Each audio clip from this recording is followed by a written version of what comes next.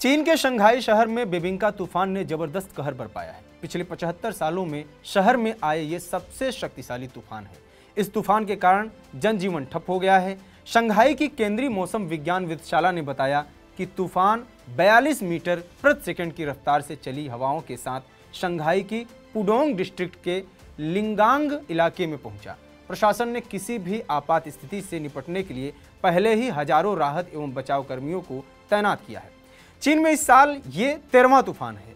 तूफ़ान के दौरान हवा की रफ्तार एक सौ इक्यावन किलोमीटर प्रति घंटे की बताई गई शंघाई को चीन बिज़नेस का हब कहा जाता है। शंघाई में तबाही का मतलब है अरबों डॉलर का नुकसान। तूफ़ान ऐसा है कि चीन चाहकर भी कुछ नहीं कर सकता है। हवा की रफ्तार इतनी है कि पेड़ हवा को अपने साथ ले जाए। शंघाई में पिछले 70 सालों के दौरान सबसे ताकतवर तूफ़ान कहा जा रहा है। ऐसा तूफ़ान साल उन्नीस सौ उनचास में आया था।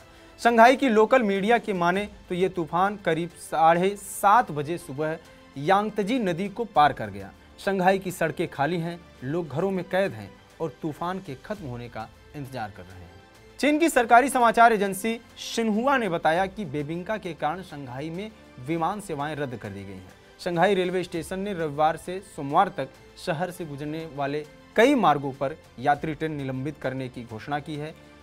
हांगकांग स्थित साउथ चाइना मॉर्निंग पोस्ट ने बताया कि रविवार तक 2.5 करोड़ की आबादी वाले इस विशाल शहर से चार लाख चौदह हज़ार से अधिक लोगों को अन्य स्थानों पर ले जाया गया और शहर में सभी राजमार्गों को बंद कर दिया गया है। बता दें, चीन में इन दिनों त्योहारों की छुट्टियाँ चल रही हैं। ऐसे में सरकार ने लोगों से घरों के भीतर रहने की सलाह दी है। तूफ़ान के चलते शंघाई के कई रिजॉर्ट अम्यूजमेंट पार्क और पर्यटन स्थलों को बंद कर दिया गया है। एयरपोर्ट्स पर बड़ी संख्या में फ्लाइट्स रद्द होने की वजह से यात्रियों के ठहरने का इंतज़ाम किया गया है। तो यह है चीन का बेबिनका तूफ़ान, जिससे पूरा चीन परेशान है। इसी तरह की और देश दुनिया की खबरों के लिए बने रहिए टीवी नाइन डिजिटल के साथ। नमस्कार।